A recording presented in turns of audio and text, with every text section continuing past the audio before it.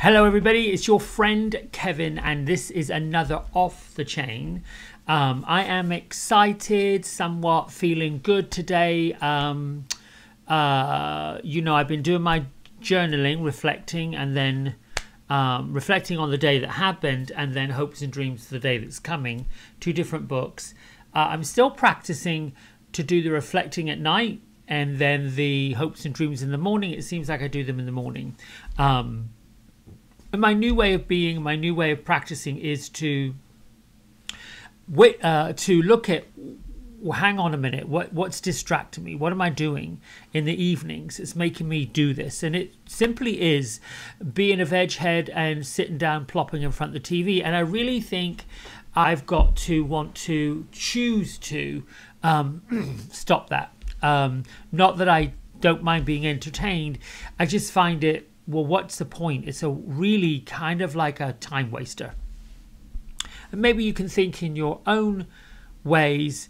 There's there's time that you want to spend doing things that you know you enjoy, relaxing, reading books, uh, playing music, um, you know, interacting with other people, and then there's time where you just simply you kind of chomp on time watching mindless rubbish, uh, which is what I did. Um, um, you know, I, I, I get I'm as guilty as anyone who gets into these fictitious, well-written uh, television episodial things, and oof, I want to know what happens next. And then I get the realization, well, that was just a fictitious story that somebody wrote, and I got pulled into. Um, so if I'm able to turn off the mainstream news, which I've done, uh, I can certainly turn that off. Um, anyway, got a link for you to, or at least I got a um, a little nugget for you as I watch some of my podcasts and some of the other videos I watch to tune in and to get a take on everything, you know, the whole vibrational uh, makeup of the universe. These great people like myself and you and all of us have these nuggets of wisdom that come springing forward. Um, and no word of a lie, uh, this wonderful British astrologer known as Pam Gregory uh, and her friend uh, Bracha, I don't know what her last name is, I think it's Smith or something like that. Um, um, I don't think it's that, but her name's Braca. They have this thing on YouTube, this chat on YouTube. And during the chat on YouTube, where they're discussing the planets, and I'm not an astrologer, I know many, but I'm not one, and I don't want to get into what the astrological projection going to be for this year. But what struck me is the nugget of what Pam Gregory said, which was the abundance that we will experience and are experiencing is linked to the frequency of our heart. What is in our heart? What is what we are putting out, the vibration we're putting out from our heart is the frequency of abundance, is the frequency of more, is the frequency that is going to literally, I think, change the course of where the whole planet, the whole human uh, interaction thing is is heading um, I was listening to the tail end of Think Like a Monk. I have it on audio and I have it in print. Yesterday, much of what I was listening to was affirmations, meditations, the daily practice of it, the how to get to it, the understanding of it, uh, the practice of, of sort of starting a meditation practice. Um, and there were some really good nuggets basically a three part uh, dance, if you will, uh, starting with breath. We have five minute breath work, continuing with chanting. Jay Shetty chants in Sanskrit. Um, you can do something simple like Satanam, Satanam, Satanam, and keep that rhythm because it's a good rhythm. And for Western linguistic, uh, left Western languages, it's an easy one to remember. Sat, truth, name, nam, uh, the truth of who we are, the truth of creation, the truth of bringing the truth in of revealing the truth, being of the truth. Um, and I might be really tangling up that that translation, so I'm sorry. Um, you know, Hinduism and Buddhism, Taoism, is completely new to Western culture. In Western cultures, we are indoctrinated, many of us, in Christianity, Catholicism, Judaism. In the Eastern culture, the Asian culture, you have Hinduism, Buddhism, and Taoism. What I love about all of this is we can, it's all linked to what I would consider the buffet of spirituality. In every spiritual tradition, everybody sends their worship upwards, outwards, to a greater being, to a higher being. Most humans on the planet feel this connection to a greater energy source, no matter what that is. It is the human experience to pop it into pigeonholes and labels and slots and what makes sense in our mental mind. To the spiritual world, if it makes sense in our physical world, in the physical experience, then so be it. It should move forward. You know, this is why some folks have these visions of angels and spirits, and some folks have the feeling of angels and spirits, and some folks have the hearing of angels and spirits, ancestors, all of these vibrational energies that are not of the physical come to us by using our own experience of the physical world. So, example, we can hear, we can see, we can touch, we can feel, we have these senses. In the non physical,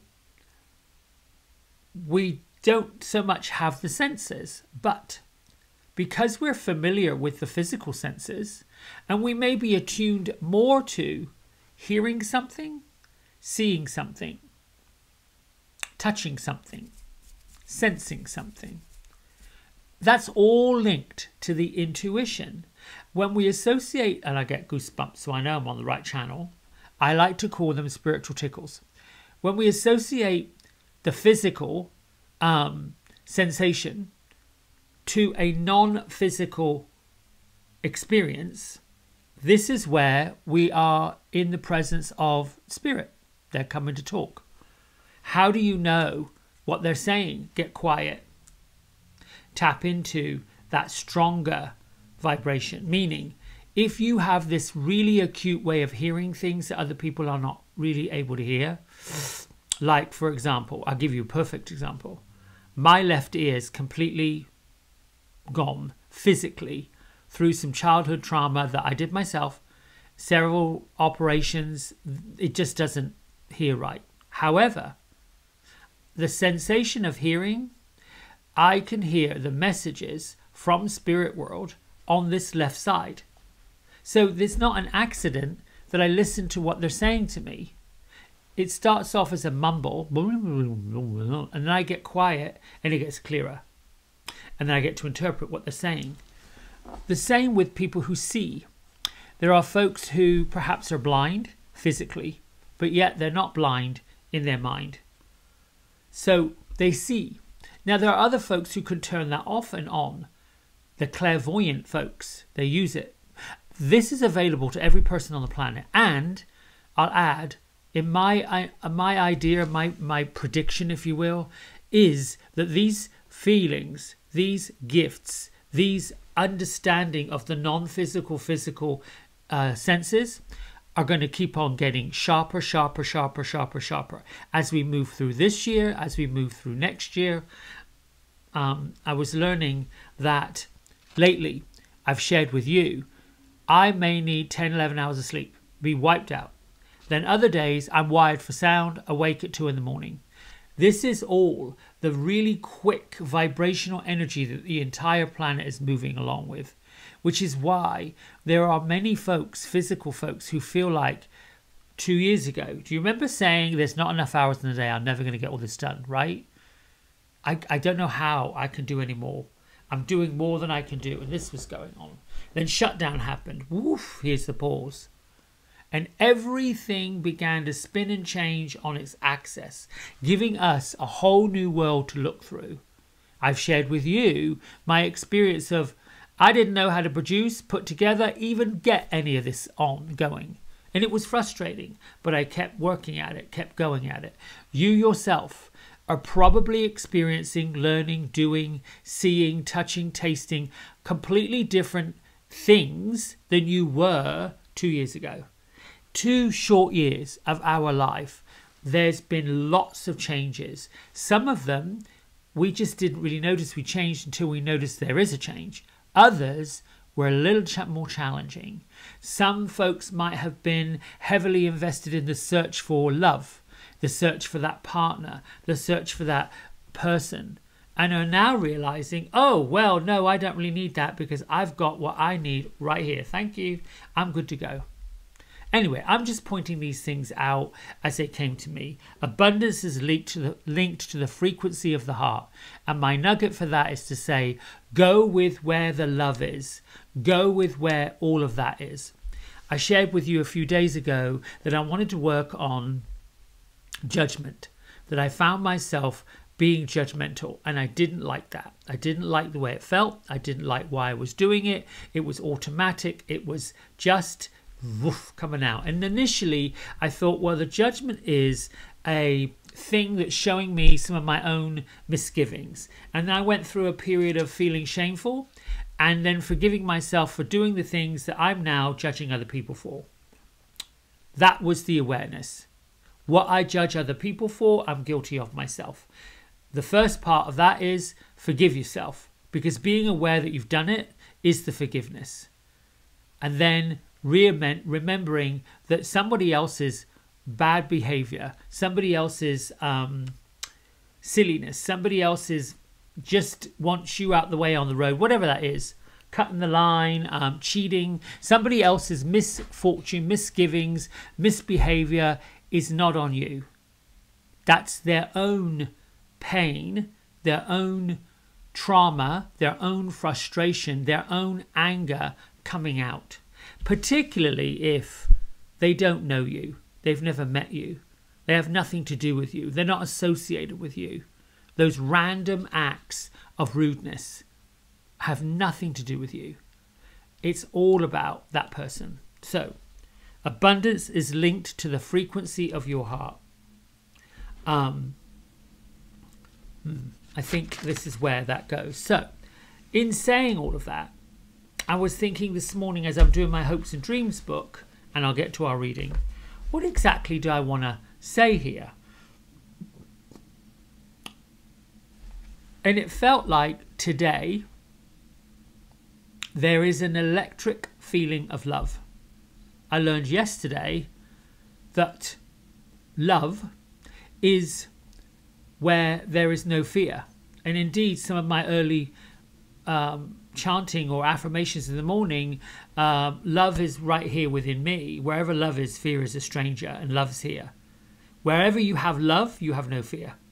Wherever you have love, you have no anxiety. Wherever you have love, you have no depression. Wherever you have love, you have none of the opposite. Love is really all there is. We are, at the core of our being, born of love, born into love we learn fear and we learn hate. If we were to go to petition the great creator of the universe and say, I want to go into physical form to do these things and have these experiences, do you think they would let us go into physical form and subject ourselves to fear or make ourselves hateful? There are people who have taught us that they're just born that way. They're just born wrong. They're just born bad. They're just born. And maybe they are. I just don't really think I get that, buy that, believe that. Um, I don't. And that's me. It doesn't have to be you. It doesn't have to be other people. I do believe that hate is learned. I do believe that judgment is learned. And what is learned can be unlearned. Not that it's my job to be the person's teacher unless they come for the lesson, and then I'm happy to teach based on my own experiences. So, I wrote a poem, and then we'll get to the reading. Love is where the sunshine is. Joy is what the sunshine gives. Peace is how the earth vibrates. We are how it all takes place. I love that. Love is where the sunshine is. Joy is what the sunshine gives. Peace is how the earth vibrates. We are how it all takes place.